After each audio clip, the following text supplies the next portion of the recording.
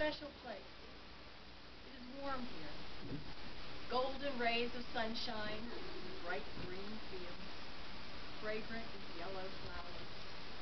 The air sparkles with hums of bees and chirps of soaring birds. A gentle breeze ruffles my hair. In the distance are sounds of an ocean's roar as it splashes against rocks. I could be here yesterday, I could be here in the sun, the softly falling rain, in the cheerful daylight, and in the velvety darkness. I could be here with you, feel the warmth of your hand in mine, talk until the moon goes down and stars sparkle in the night sky.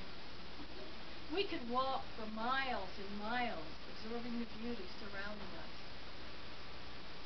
Or I could be here alone, a little sadder, but content, as perhaps someday I will, cloaked in sunshine, remembering.